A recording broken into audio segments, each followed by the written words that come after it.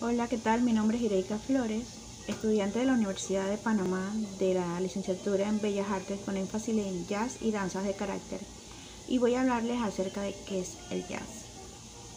El jazz tiene su origen en las danzas negras estadounidenses del siglo XXI, cuando ciertas formas diluidas de danzas sociales de la raza negra fueron adoptadas por los de raza blanca.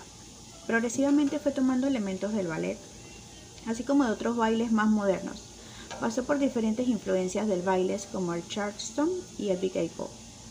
Como danza para el escenario, la danza teatral de la década de 1940 experimentó un desarrollo mayor en las décadas de 1950 y 1960. Experimentó un desarrollo grande. Tomaba los elementos que necesitaban tanto del ballet como de la danza moderna y del claqué.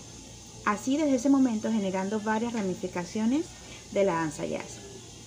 Se caracteriza la técnica del jazz por el estilo, la movilidad del torso, es muy importante.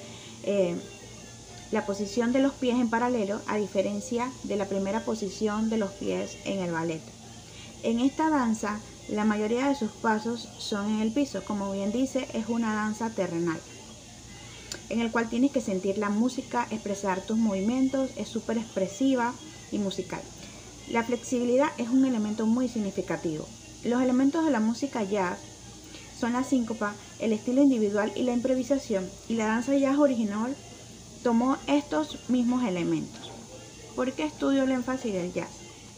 Estudio el jazz porque es una danza muy creativa, apasionada.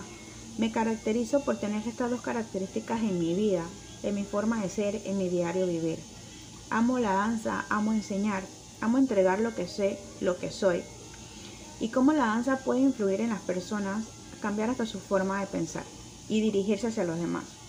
La danza ya nos enseña a ser apasionados, creativos, dar rienda suelta a nuestra imaginación y nuestra creatividad.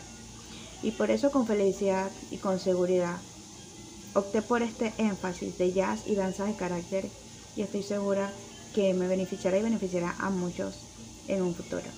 Gracias.